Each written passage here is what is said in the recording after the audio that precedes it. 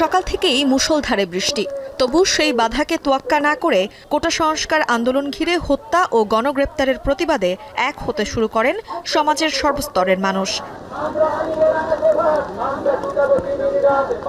গান, কবিতা আর রং তুলির ছোঁয়ায় জানান দেয় প্রতিবাদের স্পষ্টতা। বাইরে এসে ওদের পাশে দাঁড়ানো। দিনে দিনে আমরা যা দেখেছি যে অন্যায় অবিচার দেখেছি, সাধারণ মানুষের উপরে, ছাত্রদের উপরে, শিক্ষকদের উপরে সেটা সেটা একেবারে একটা অনৈতিক একটা একটা জায়গায় এসে দাঁড়িয়েছে কিন্তু।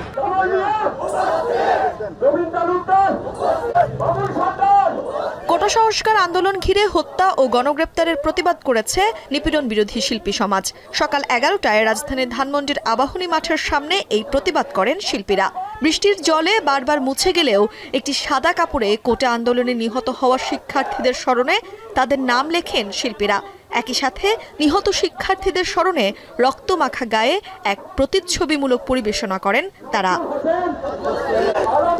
সেখানে আন্দোলনকারী শিক্ষার্থী ও সাধারণ জনতার বিরুদ্ধে গণগ্রেপ্তার ও মামলা বন্ধ, কারফিউ তুলে নিয়ে জনমনে স্বস্তি ফিরিয়ে দেয়া কোটা সংস্কার আন্দোলন দমনের নামে সংগঠিত সকল হত্যার তদন্ত ও বিচার সহ বেশ কিছু দাবি তুলে ধরেন তারা। এ সময় বিভিন্ন প্ল্যাকার্ড ও ব্যানার হাতে আশেপাশের এলাকার বাসিন্দারাও এই কর্মসূচিতে অংশ নেন। আমাদের যে কর্মসূচি আমরা আমাদের ভাষায় আমাদের মতো করে তাদের পাশে আছি। আমরা তো গণতান্ত্রিকভাবে আমাদেরকে আমাদের দাবি আমাদের চাওয়াগুলো উপস্থাপন করতেই পারি। শুক্রবার সকাল এগারোটায় রাজধানীর বাংলা মোটরে প্ল্যানার্স টাওয়ারের সামনে বৃষ্টি উপেক্ষা করে মানববন্ধনে অংশ নেন পরিকল্পনাবিদরা। তারা চলমান পরিস্থিতি স্বাভাবিক রাখতে বৈষম্য বিরোধী ছাত্র আন্দোলনের দেয়া নয় দফা দাবি বাস্তবায়নে পূর্ণ সমর্থন জানান। ছাদে খেলতে যেয়ে একটা বাচ্চাকে মেরে ফেলা হয়েছে। জানালার পাশে পড়তে বসা বাচ্চাকে মেরে ফেলা হয়েছে। কেন? এটা কি স্বাধীন বাংলাদেশের চিত্র? এই স্বাধীনতা দেখতে চেয়েছি আমরা। এখন শুধুমাত্র ছাত্রদের আন্দোলন নয় এখানে পেশাজীবীরা এসছে শ্রমিক কর্মজীবী সারা দেশের পিতা মাতা সহ ছেলে মেয়েরা সকলে আজকে এই আন্দোলনে সামিল হয়েছে। ছাত্ররা যে দাবিগুলো করেছেন তাদের যে নয় দফা দাবি সেই দাবিগুলোর সাথে আমরা একাত্মতায় আছি এবং এগুলো হচ্ছে আমাদের রাষ্ট্র গঠনের মৌলিক দাবি। রাজধানীর বাংলা মোটরে হত্যা ও নিপীড়নের প্রতিবাদে মানববন্ধন করেছেন বিক্ষুব্ধ কবি লেখক সমাজ। সংহতি প্রকাশের সময় তারা জানান বৈষম্য বিরোধী ছাত্র আন্দোলনের দেয়া নয় দফা দাবি যৌক্তিক। এ সময় শিক্ষার্থীদের নয় দফা দাবি বাস্তবায়নে সংহতি প্রকাশ করেন তারা। আমরা একটা সুন্দর সমাজ গড়ে তুলতে চাই।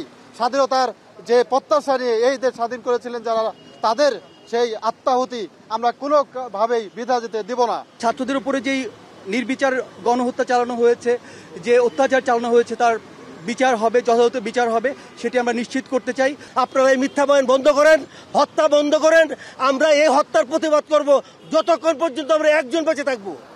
ছাত্রদের উপর অত্যাচার ও গণগ্রেফতার। একই সাথে মেধাবী চিকিৎসক ডাক্তার সজীবকে হত্যার প্রতিবাদে অবস্থা কর্মসূচি ও প্রতিবাদ সমাবেশ পালন করে দেশের চিকিৎসকরা। এ সময় সারা দেশে গণগ্রেফতার ও হত্যার বিচার দাবি করেন তারা। সকল ছাত্রছাত্রী, চিকিৎসক ও সাধারণ মানুষের নিরাপত্তাও চান। সেই সঙ্গে চলমান আন্দোলনের নয় দফা দাবির সাথে একাত্মতা জানান চিকিৎসকরা।